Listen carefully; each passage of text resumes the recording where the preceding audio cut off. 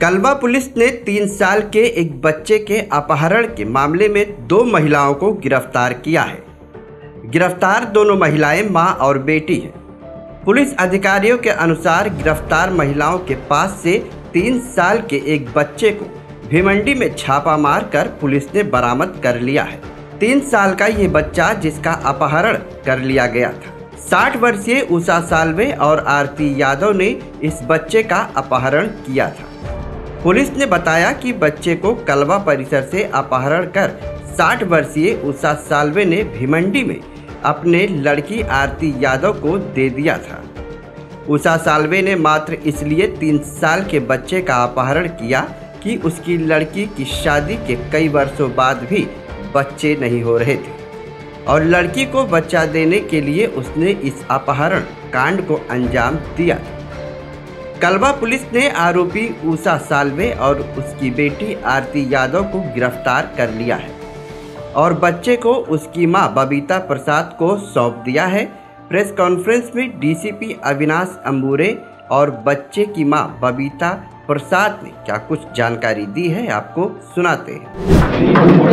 अच्छा लग रहा है। और मैं भगवान को पुलिस हूँ वो नहीं मेरे को मेरा मेरे को तो इतना जानकारी भी नहीं कि कौन लेके गया कौन मैं तो सिर्फ़ बंगा खेलने का काम कैसे कैसे हुआ था। ये वारदात हूँ। मुझे नहीं मालूम लड़का अकेला गया अभी कैसे आपको लड़का मिला है कैसे लग रहा है? अच्छा लग रहा है। चौदह मई को करीबन रात के आठ बजे श्रीमती बबीता अमन प्रसाद का तीन साल का लड़का आदित्य अमन प्रसाद घर से निकल गया ऐसा उनको पता चल गया।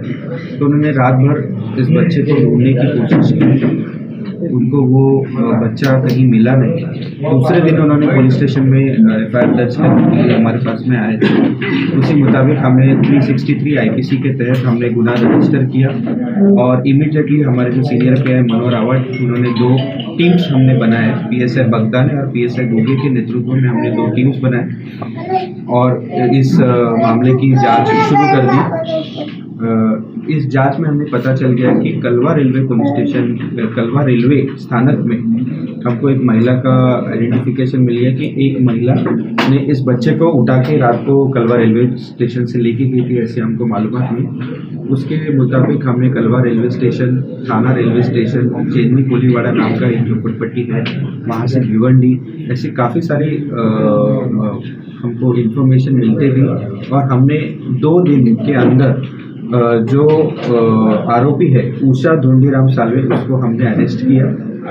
उसको अरेस्ट करने के बाद में उसकी ऊषा, जो ऊषा उषा धुंडीराम सालवे जो आरोपी है, उसकी एक लड़की है, आदित्य सौ आरती रोहित यादव, जो भिवंडी में रहने वाली है, उसको हमने गिरफ़्तार किया और उसके पास से हमने जो अपहरण किया हुआ, जो बच्चा था तीन साल का, आदित्य अमन प्रसाद, उसको वहाँ से हमने उसको हमारे ताबे में ले लिया है। और जो बच्चा है उसको हमने जो उसकी माँ है बबीता प्रसाद उसके ताबे में हमने उसको बच्चा दे दिया। सर ये जो अपहरण करने वाली महिला है उसका बैकग्राउंड क्या था और इस, उसने इस बच्चे को किस लिए अगवा किया जी ये जो उषा सालवे है ये लोगों के यहाँ पे हर काम हाउस होल्ड काम करती है ऐसा अभी तक इन्फॉर्मेशन पता चला है।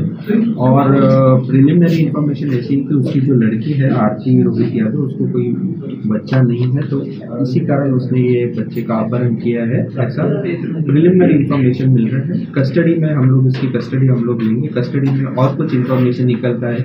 उसने इसके पहले भी कुछ ऐसे वारदातें की है क्या? इसकी जानकारी और इसकी जाँच हम लोग ज़रूर करेंगे।